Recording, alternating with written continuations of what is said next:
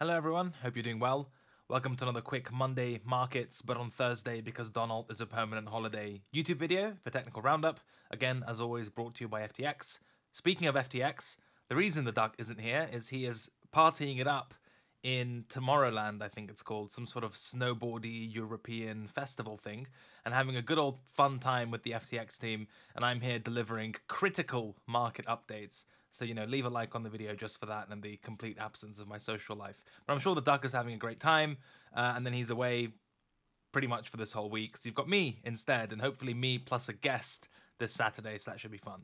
So, quick market update. In terms of a reminder of where we are, I'm not going to spend too long on this, given we covered it in the last video in some detail, and also the short clip I posted on Twitter.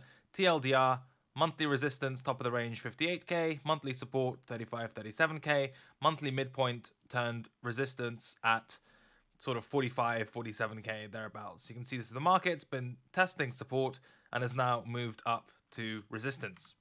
If we look at that on the daily time frame, that's where it really gets interesting because while support has been creeping up and making sort of marginally higher lows, resistance has also been, I mean, you can arguably turn this into some either triangle structure, but in any case, you know, patterns aside, which isn't the most important thing, it's that market structure this entire time hasn't been broken to the upside, right? Like if you look to the left, you've got a very clear sequence of lower lows and lower highs, uh, and there's been no higher high on the daily time frame to write home about. And higher highs are usually kind of the first meaningful evidence of a high time frame trend shift or break in market structure. If we also look at this level, you know, it's been tested depending on how you count once, twice, three times, four times, and this would be the fifth test.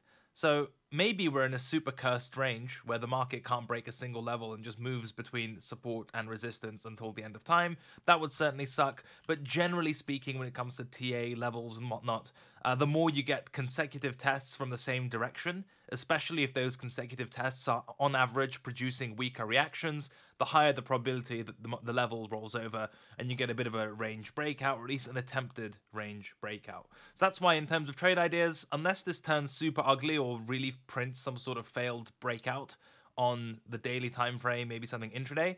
I'm not too keen on selling this level. Uh, you know, no one says fifth test, best test. Not not super uh, convinced on that trade unless it shows me something really compelling, like, you know, spike the highs and then completely roll over. Something like that will be fine, but I definitely need the kind of failed breakout deviation portion of that in order to get involved in the trade because otherwise it's just a bit, you know, selling the same level flat. Uh, is not fun for me, especially again, fifth time I don't want to get run over on this. So as per the short video, don't want to spend too much time repeating myself again. Um, if it breaks, I'm going to leave it, be that a break of uh, resistance or break of support. I'm not interested in fading that move.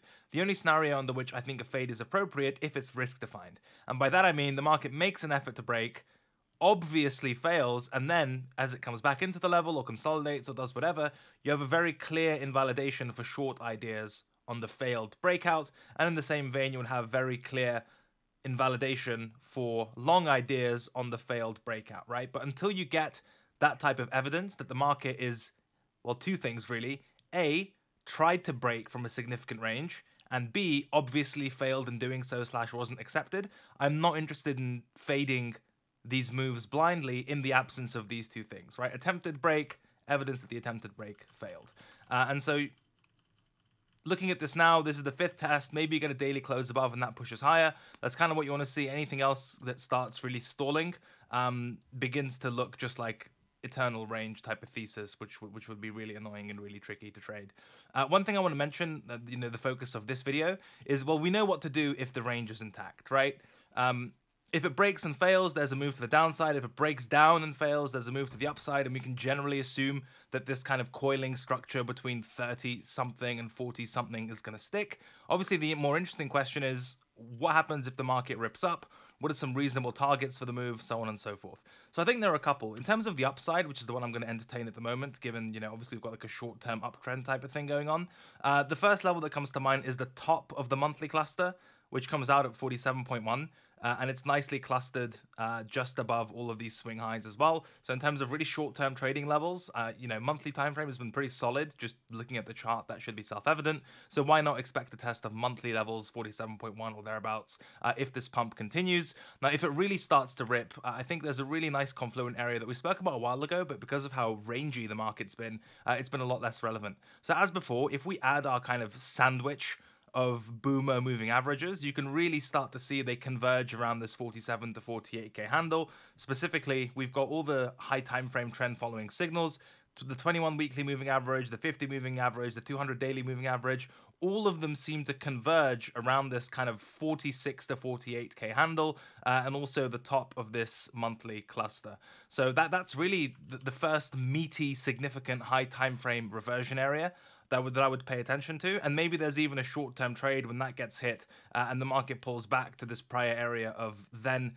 support potentially turn to resistance. I don't want that to happen too quickly because then it, you know I don't want like an aggressive retrace of this move.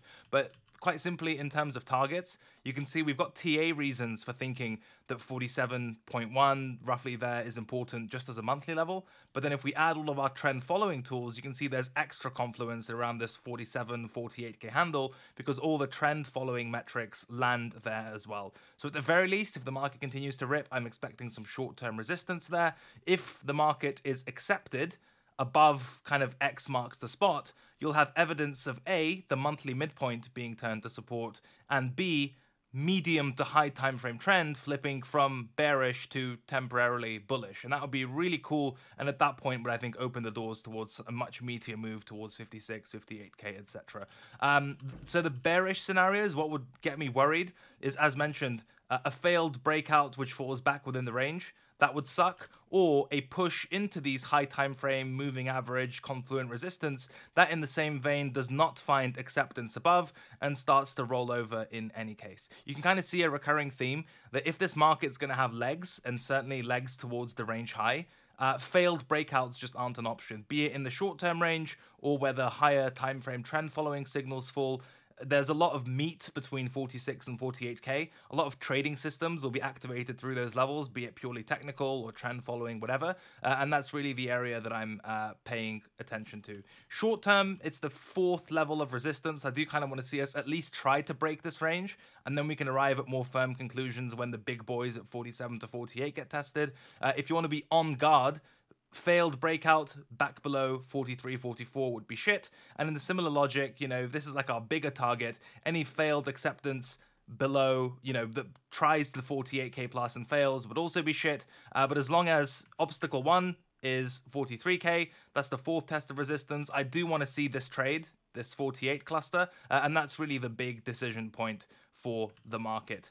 Uh, any failed breakouts not interested in holding on to those. Uh, if we manage to churn through this area and get a daily breakout which sticks, I do really think it'll be more or less a fast move towards 58k or thereabouts. So eyes on the prize, probably the most confluent level. Yes, short term we've got 44 because we've tested it a million times. It's the obvious market structure level. If we keep popping up, I don't think it's fully out of the woods until we do the bigger test at 47, 48k where all this kind of stuff aligns. And that's when I think you can start to develop some really meaningful views on this market. Range bound until proven otherwise. Let's see if we can break resistance first and foremost, and then we'll come back to see if the market is accepted through the range boundaries. Because a lot of the time, you know, we want to make this TA stuff interesting and whatever, but really, often you'll have the market consolidating between two boundaries, right?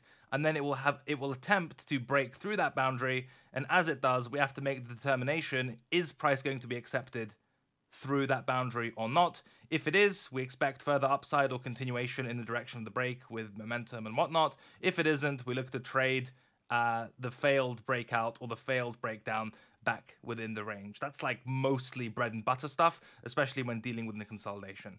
That's all I've got. Live stream coming on Saturday, hopefully with a guest. If not, it'll just be me rambling. Hopefully, these videos are helpful. If you have questions, leave them in the comment section. Um, and yeah, I'd love to hear from you. As always, get the FTX app at the very least because they're keeping Don occupied and partying. That's all from me. Um, 43 matters, 47, 48 matters. Failed breakouts suck. That's all I've got. Take care, like the video, YouTube, algo stuff. Love you guys. Bye bye.